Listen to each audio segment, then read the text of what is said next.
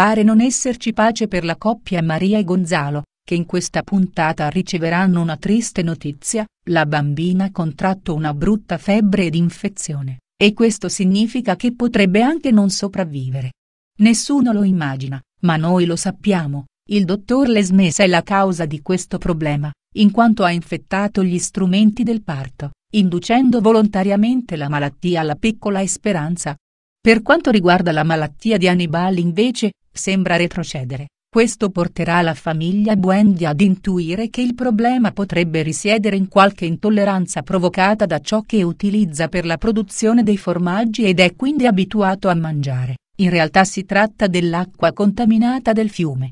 Aurora, continua a recarsi in carcere per far visita a Conrado.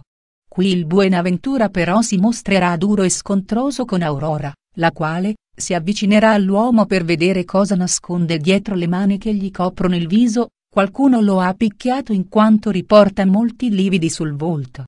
Soledad e Simon, continueranno a vedersi e saranno sempre più vicini, così la sorella di Tristan deciderà di portarlo in un posto a lei molto caro, il loro atteggiamento farà intuire che presto fra i due, scatterà un bacio pieno di passione.